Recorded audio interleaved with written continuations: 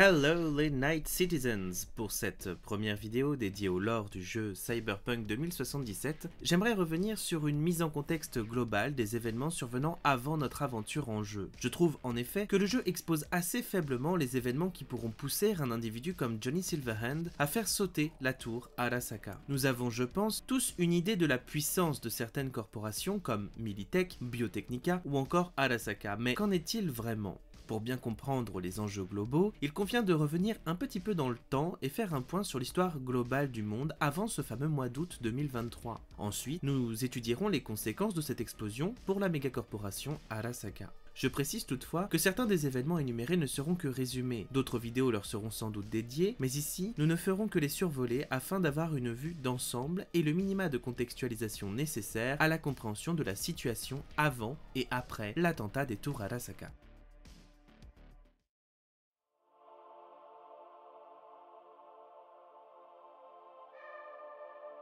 Tout d'abord, rappelons que dans notre temporalité, les États-Unis forment un pays regroupant 50 États membres, parmi lesquels 48 sont limitrophes et composent le mainland. C'est important de garder cette information en tête pour comprendre l'effondrement du pays dans son entièreté. Il faut également savoir que dans l'univers de Cyberpunk, la temporalité et l'avancée technologique ne suivent pas la nôtre. En effet, le premier livre de JDR inspirant l'univers, Cyberpunk 2013, a été publié en 1988.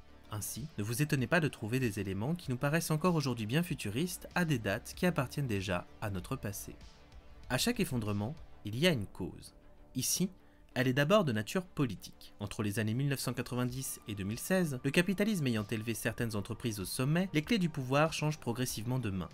En haut de la pyramide, l'influence des gouvernements s'amoindrit à mesure que celui des mégacorporations augmente. S'il était d'abord considéré comme un conflit d'intérêts de voir un personnage politique affilié à une corporation, cela devient progressivement une banalité dans l'esprit des gens. En parallèle, les ressources de la planète, surexploitées par les entreprises, entraînent de façon inévitable l'effondrement climatique et environnemental. Par exemple, les pluies acides et autres tempêtes de poussière provoquées par la déforestation de masse sont des catastrophes naturelles devenant presque quotidiennes pour les États-Unis. Les ressources deviennent bientôt une source de conflit puisque trois guerres explosent durant ces années entre différentes corporations, défigurant à jamais le sol terrestre. Les catastrophes politiques se mêlent aux catastrophes environnementales. En quête de pétrole, les corporations et certains gouvernements entament un conflit thermonucléaire au Moyen-Orient, ne laissant derrière lui qu'un désert radioactif et une crise pétrolière majeure dans le monde entier. Aux États-Unis, le gouvernement tâche de trouver une stabilité en manipulant clandestinement les principaux marchés américains et européens. Simplement, lorsque le complot est démantelé, cela ne fait que précipiter l'effondrement économique mondial. Les seuls réels vainqueurs de cet effondrement sont les corporations, puisqu'elles gèrent leurs finances indépendamment des États et, à force d'habiles investissements, gagnent toujours plus de pouvoir et d'influence à travers le monde. En parallèle, les quatre agences gouvernementales états-uniennes que sont le FBI, la NSA, la CIA et la DEA forment la bande des quatre et fomentent une forme de coup d'État visant à modifier le gouvernement et reculer le chaos qui guette les États-Unis. Simplement, lorsque les machinations de la bande des quatre éclatent au grand jour, tout le pays implose.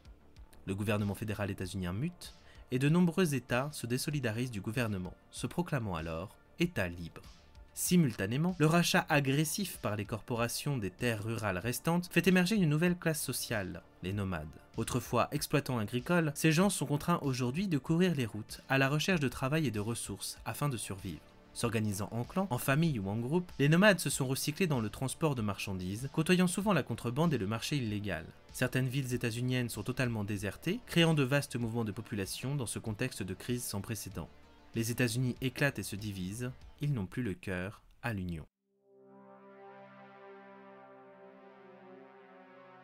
Dans cet effondrement global, aussi bien économique, climatique que politico-social, deux corporations exploitant les océans, l'OTEC et la Sino, se disputent les restes d'une corporation en faillite, l'IHA. Si au début ce conflit prend l'apparence d'une guerre fiscale, l'OTEC s'assure une longueur d'avance en engageant pour se protéger la corporation d'armement Militech. De là, la Sino couvre ses arrières en signant un contrat avec la corporation japonaise, le géant Arasaka. Ainsi, la dispute de marché pour le monopole des océans s'amorce comme un conflit armé. L'entrée dans le conflit des deux géants de l'armement entraîne le début de la quatrième guerre corporatiste et la première phase de celle-ci, appelée l'Océan Noir. Cette première phase pourrait s'apparenter à une forme de guerre froide. Il ne s'agit pas d'une guerre de front, mais plutôt d'une guerre du dessous. Certains personnages clés de chacune des corporations se volatilisent, d'autres sont retrouvés morts, ils se sont prétendument suicidés ou se retrouvent au mauvais endroit, au mauvais moment. Les Netrunners d'Arasaka et de Militech piratent et manipulent le marché et la bourse, semant le chaos dans l'économie déjà fragile du monde. En réaction à ces attaques, la Netwatch tente de lever un embargo temporaire sur les communications des deux corporations afin de freiner les conséquences de leur conflit souterrain. Malheureusement, cela se révèle assez inefficace. Quelques mois après le début de l'Océan Noir, l'institution garante du marché mondial, l'Eurobank, parvient à arbitrer une trêve entre l'OTEC et la Sino.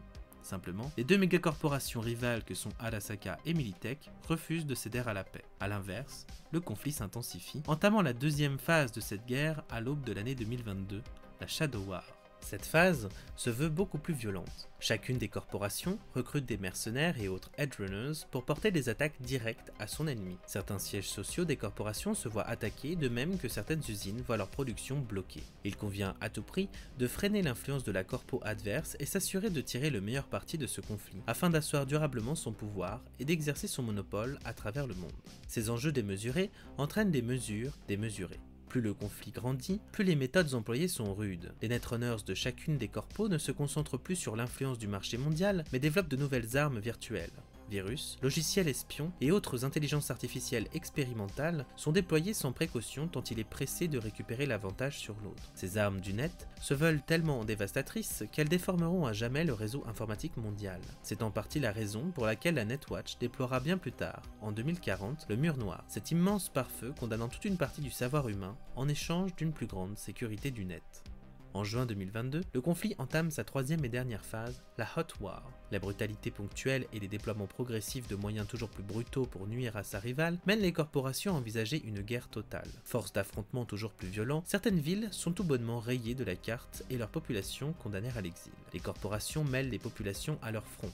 L'heure n'est plus au ciblage tactique, mais bien à la violence la plus démesurée.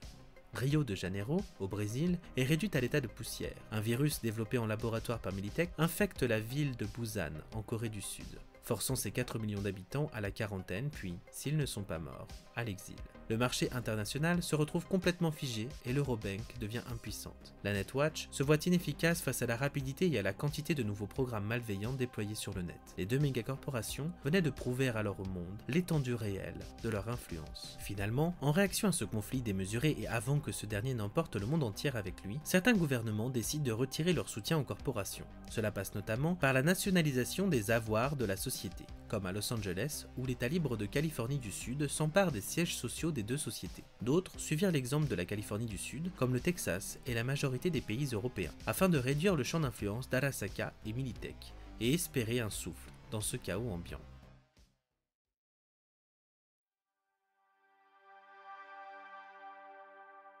C'est précisément dans le contexte de la Hot War que notre ami Johnny Silverhand intervient. Il n'est pas étonnant, dans un contexte de violence d'une telle ampleur, que certains individus veuillent voir les corporations et leur pouvoir faiblir, pour ne pas dire disparaître. Les tours Arasaka sont le dernier bastion américain de la corporation à tomber. Elles s'écroulent des suites d'un attentat à la bombe nucléaire tactique au mois d'août 2023, déclenché par une équipe de mercs composée notamment du chanteur et guitariste du groupe Samurai, de Rogue Amendiares et de Morgan Blackhand. La bombe, posée dans la tour principale, emporte avec elle toute une partie du centre-ville de Night City et les autres tours Arasaka alentour. Ainsi, la corporation se voit en quelques minutes seulement privée de présence dans l'État libre de Californie du Nord. Suite à cette humiliation et sous la pression du gouvernement japonais, Arasaka s'avoue vaincu peu de temps après. Militech ressort donc victorieuse, mais accuse aussi de lourds dégâts en interne. De son vivant, Johnny fréquentait l'Atlantis, un club dont la clientèle est essentiellement composée de citoyens de Night City, désireux de voir Arasaka, Militech et les autres corporations détruites à jamais.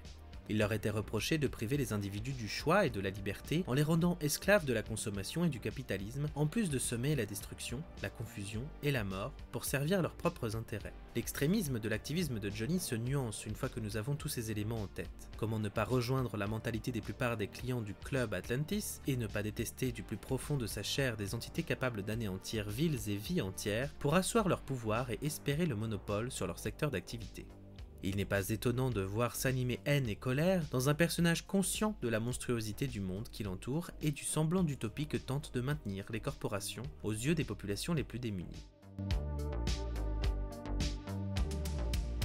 Le petit attentat du groupe Atlantis parviendra toutefois sur le court terme à engendrer un élan de rébellion, et ce, aux quatre coins du monde. En réalité, c'est davantage la monstruosité dont ont fait preuve les deux corporations qui, à la retombée de la guerre, aura entraîné un bref mouvement de révolte. De la même manière, en Europe et en Asie, les différents gouvernements s'activent à retrouver l'hégémonie politique en stabilisant l'économie mondiale. Pour cela, ils vont réguler les corporations et tenter de les museler, afin que ces dernières n'aient plus autant d'influence sur les enjeux internationaux qu'auparavant. Aux États-Unis, la présidente Elizabeth Kress instaure la loi martiale dans les États membres de la New USA. À Night City, dans l'État libre de la Californie du Nord, Harasaka fut tenu responsable de l'explosion de ses propres tours.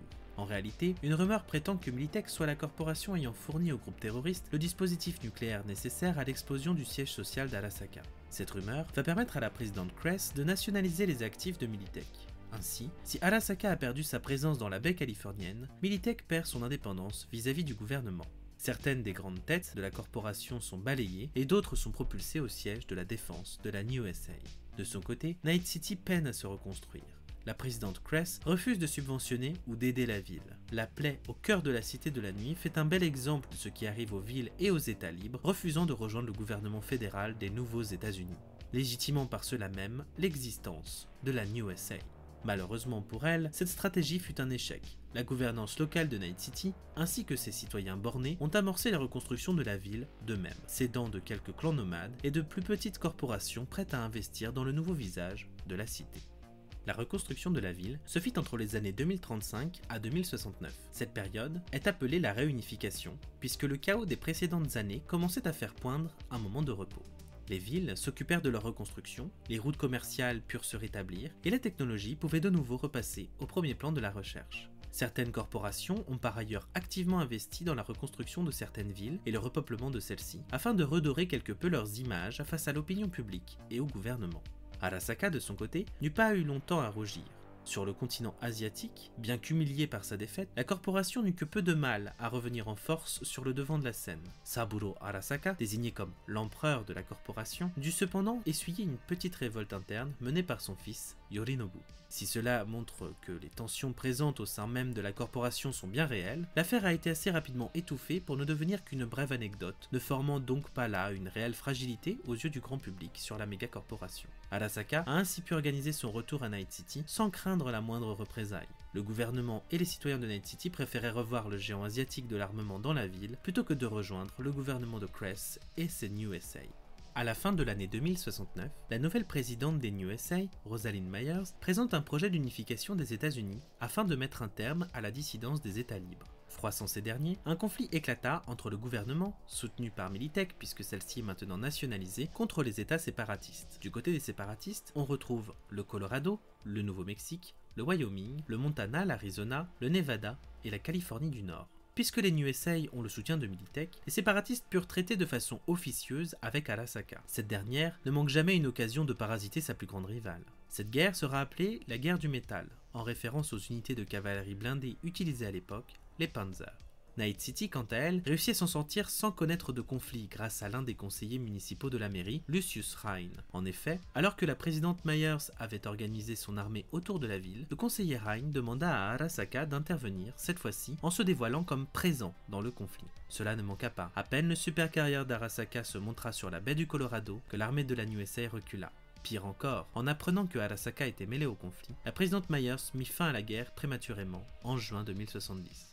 En réalité, le traité de paix signant la fin de la guerre du métal ne satisfait aucun des deux partis, puisque l'un devait renoncer à réunifier les États-Unis et l'autre, composé des États libres, devait tout de même s'investir dans un nouveau gouvernement fédéral malgré la conservation du statut d'indépendance. Seul Night City parvient à garder, à la seule échelle de sa ville, une indépendance totale de la gouvernance Myers et des New USA. Cette indépendance n'est cependant possible que parce que les corporations et surtout les méga-corporations ont investi beaucoup d'argent dans la redynamisation de la ville. Ainsi, l'influence et le pouvoir de ces dernières sur les règles, les lois et le fonctionnement de la ville est indéniable. En 2070, Lucius Rhein est élu maire et Night City autorise le géant Arasaka à reconstruire son siège social à la position exacte où ce dernier s'était écroulé en août 2023. Désormais, Arasaka se retrouve de nouveau en position de force dans la ville et ces nouvelles tours ont définitivement balayé de la plupart des mémoires le souvenir d'un attentat aux conséquences aujourd'hui nulles.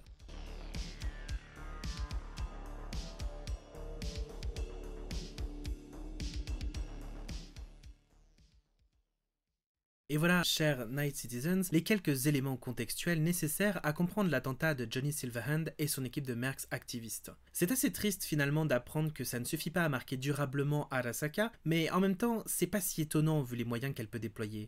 En revanche, je suis assez surpris pour cette histoire de rumeur concernant la bombe financée par Militech. Je vois assez mal Johnny Silverhand accepter, avec son ego exacerbé, un tel compromis, puisque finalement c'est tirer une balle dans le pied d'Arasaka, mais c'est propulser Militech en avant. Pour moi, cette rumeur elle tient pas trop la route. Je sais pas ce que vous en pensez, n'hésitez pas à me le dire dans les commentaires, parce que si ça se trouve, c'est tout à fait plausible. En tous les cas, j'espère sincèrement que cette vidéo vous aura plu, et si c'est le cas, n'hésitez pas à la partager et à laisser un petit pouce bleu. Moi je vous dis à bientôt, et d'ici là, chers Night Citizens, tâchez de survivre.